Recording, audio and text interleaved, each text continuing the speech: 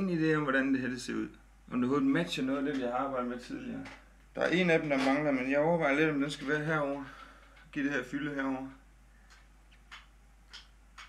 Eller om den skal ned på gulvet og give noget fylde hernede. Som vi gjorde tidligere, faktisk. Faktisk, faktisk, faktisk. Og så stod den jo herover og vi gjorde et eller andet der. Og det synes jeg ikke rigtig gav så meget, som da jeg satte den ind under min videoapparat herover og lyste ned, skråt ned i gulvet. Så ligesom om så gav den noget, noget mere. Nu synes jeg bare, at skyggen herovre, den bliver så for intens. Så hvis vi gør sådan her, så kan vi se forskellen her. Det kan I godt se, det er jo en hæftig forskel, ikke? Og hvad har du tilbage af lys? Jo, så er det det der op. Jeg vil lige prøve at slå den der, fordi det er jo sådan set en form for erstatning for den her måske. Ja, så bliver der godt nok mørkt. Og det der, kommer nogle skygger ind der, det er så sådan noget, der helst ikke skulle være noget af. Så spørgsmålet er, om, om den her den skal vrides nogle gange, for at give lyset på den rigtige måde, det ved jeg sgu ikke. Men lige nu virker det som om den yderste, den derovre af, giver bedst lys fra sig. Hvorimod den, der er sat fast med klemme, ikke gør. Jeg ved om det er fordi den... Og så har jeg, har jeg sat det der grønne noget på her om bagved lige i øjeblikket. Så lige for at se, hvordan det ser ud. Så tager vi lige og tjekker den der ud. Og... Det virker stadigvæk meget mørk i toppen, synes jeg. Men jeg har heller ikke rigtig noget, der fylder ud herovre. Enten den der lampe der, som skinner ned i gulvet. Og hvis vi kører den der og den der på, så har jeg fyldt fra toppen af og ned. Så ligesom om det meste af skyggen faktisk forsvinder, så synes jeg faktisk, det ser ganske fornuftigt nydeligt ud. Lækkert faktisk. Det er faktisk, faktisk. Faktisk, faktisk, faktisk, faktisk, faktisk, faktisk. Hvis man så gjorde sådan her, og stadigvæk faktisk være belyst derovre fra, det var lidt imponerende. Godt. Det næste, det er, at vi tager og flytter den her. Så det jeg tænker på, om det er, om den skal være helt hvid. Og vi virkelig skal have en, der bare er krivi. Så er det med et hvidt lærred i stedet for. Det giver, nogle, det giver en anden form for, gør det ikke det? Og selvfølgelig kan du egentlig ikke se skygger, når det er, at du kigger på, når du kigger på det hvide lærred. Eller på ikke på det hvide lærred, så er det fyr af. Når du kigger på, øhm, hvad fanden er det, jeg vil sige? Ja, det ved jeg da ikke. Nej, det ved jeg da godt nok heller ikke. Så sidste mulighed, det er kartonpap, hvilket jeg sådan set allerede tr- tænker, det bliver aktuelt eller nødvendigt. Men den er der i hvert fald, den mulighed. Den skal vi da også lige spille af. Så har vi flyttet på lyset. Og fokuseret det mere midt på bordet i stedet for. Og så prøver vi med gråt pap. Det kan jeg så ikke se lige i øjeblikket, for jeg er meget, meget øh, lyst op i øjnene lige pt. efter at have stået og lidt med det lys der. Jeg ved ikke rigtigt, om, om det er godt af den vej, vi skal. Det kan godt være, at de, i det hele taget, det kan godt være, at vi skal op i 1000 lum eller sådan noget. Jeg kan ikke engang huske, hvor mange lum giver de her fra sig. Det er 850 lum. Og en Kelvin på 4000. Det ved jeg sgu da. Jeg ved det sgu da. Det gør jeg da. Skud det sgu da. Vi lukker slukker her efter 7 minutter med ingenting.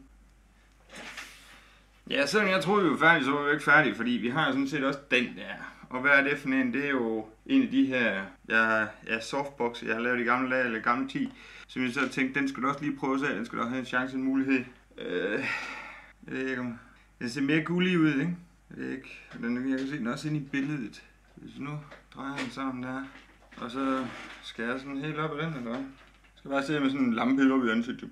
Dog så der, mand. det er fuldstændig åndssvagt. Lad os lige prøve at twiste den nedad i stedet for. Den kommer ovenfra og ned. Okay. Den skal faktisk helt herinde stå. Så er spørgsmålet, hvor I skal være henne. Ja, fordi der er jo sådan set været lagt mærke til, at de andre sådan set laver noget med, at lortet står næsten helt op i hovedet på dem. Nu skal jeg bare lige finde ud af, hvordan fanden jeg gør det. Så jeg kan jo bare bringe den anden ind. Den står jo selvfølgelig lidt anderledes. Det gør jeg jo lige. Så hvis jeg endelig skal sige noget, så tror jeg faktisk, det skal være den, den øh, oprejste i en position, der hedder... Det hedder sådan cirka deromkring. Sådan cirka deromkring. Og så står den bare sådan lige ned i masken på en. Så er spørgsmålet, om man kan være for uden den der. For jeg tror nemlig ikke, den udnytter hele situationen, og det at den er buet på den måde. Nå, i stedet for at sidde og glo på ingenting, så tager vi lige og stopper. Hold da op. Jeg er ligesom bare helt væk. Der skal jo være noget mere lys, tror jeg, af en eller anden art. Så de to der, det er slet ikke nok. Hold da op. Og mig som troede, det må være rigeligt. Mere skal jeg skødt bruge. Så må man lave noget jøl og pangel og fikse bum bum. Men igen, den er helt op på 7. Altså lige prøve at køre den ned på 5 uden ISO. Øh, det, det, den der, det er 5 det der. Og skal vi helt til at dræbe skyggen bagved os? Det har vi ikke! Det har vi, det har, det har vi ikke. Det har vi ikke. Det har vi ikke, nej, det har, det har vi ikke, og det er nø, nø, nø, nø, nø, nø. Ja, men der er ingen refleksion over i den der Hvor langt kan du gå ud, før det begynder at blive refleksion derovre? Det er faktisk lige der.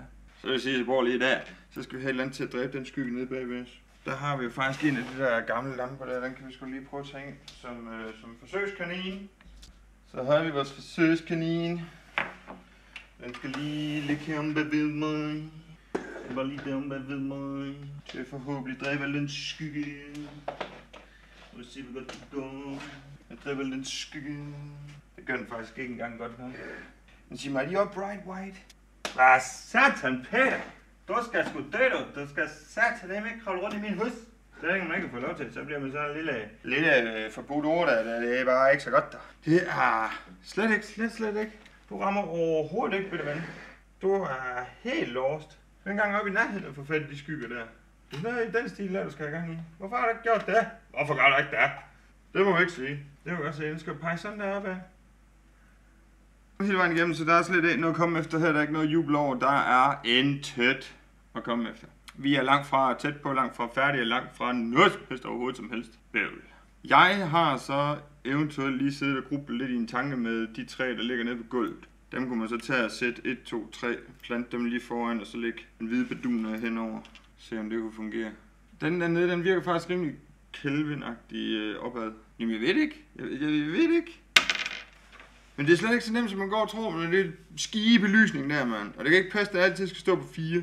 Eller have masser af ISO på. Jeg kunne selvfølgelig bare vælge at så sige, fint nok, ingen ISO. Eller masser af ISO, og så bare øh, få det til at se ud, som om det er shiny, shiny. Men det giver jeg heller ikke. Jeg vil gerne kunne have minimum ISO på. Så jeg ikke har alt det der støv i mit billede. Det hedder det ikke, men jeg ved, hvad jeg selv mener, når jeg siger sådan noget. Så jeg sidder lige og gør bordet rent, mens jeg sidder og laver mad. Jeg vil lave faktisk mange ting på en gang. Og det gør jeg faktisk.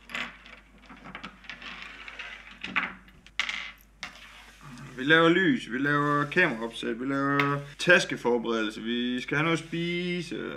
Og så har jeg lige smadret en skærm. Kæft, jeg er træt af mig selv. Åh! Oh! Smadret en skærm. Tirsdag den 10. december 2019 fordi jeg lige skulle hæve en, en lampeskærm, som ikke ville give slip på den øh, tv-skærm, som den stod og lænede sig op af. Og så trækker jeg bare, og så lige pludselig bare... Der ligger sådan et, et ringbind, åben ringbind nedenunder. Så siger det bare lige ned på den, og så tænker jeg, det er nok ikke så galt. Det lød ikke, det lød ikke som om den slammede ned i bordet. Det lød mere som om den land, den land skulle blødt. Eller den land saftsus med blødt. Det gjorde den så ikke. Eller jo, det gjorde den. Det, det ved jeg ikke. En af de her bøjler her fra ringbinden, der gik jo lige direkte op igennem plasmaskærmen, eller skærmen i det hele taget. Sådan, øh, jo, sådan, jo. Det var brumbaniske ny her. Tak fordi du gad at kigge forbi. Hold den flyvende.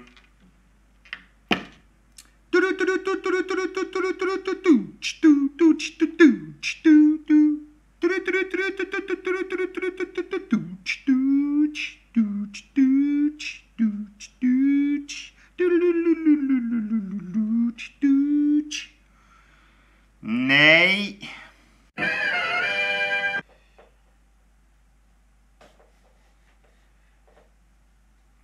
Fordi man kan få sådan nogle skum nogen, eller fil, man nu kalder dem. Skum er det vel et eller andet sted ikke, men det er sådan et eller andet i den duer alligevel. Det er der lort, der ud, Brian. Det er jo fuldstændig rigtigt, med. Der er rigtig pø øh, pølster. Jøl og pang, som jeg også siger på tysk. Jeg skulle aldrig sagt på tysk. Nej. Nå. Hvad de sådan siger på tysk, så er det nok ikke så godt.